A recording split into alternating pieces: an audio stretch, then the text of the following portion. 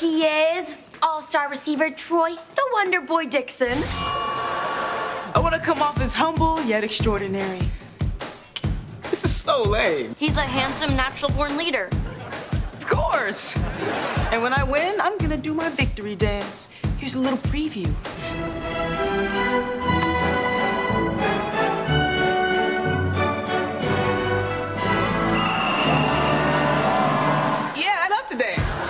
Calm down, Beyonce. Uh-huh. We're awesome. Uh-huh. We're handsome and break. Ow! Coach! Oh, she is so going down. You can't show this girl any sign of weakness. Hey, everybody.